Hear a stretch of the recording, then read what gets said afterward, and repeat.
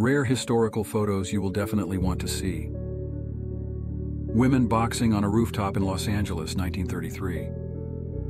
Motorola engineer John Mitchell with his phone on the streets of New York, 1973. Albina Mali-Hočevar, a resistance fighter who fought for the liberation of Yugoslavia during World War II. Northumbrian miner at his evening meal, 1937. Criminal in a cangue, China, 1905. Coca-Cola bottle, 1906. The morning after the Prohibition ended, 1933. Little boy carrying a newborn lamb in Scotland, 1932. A young Kenyan woman holds her pet deer in Mombasa, March 1909.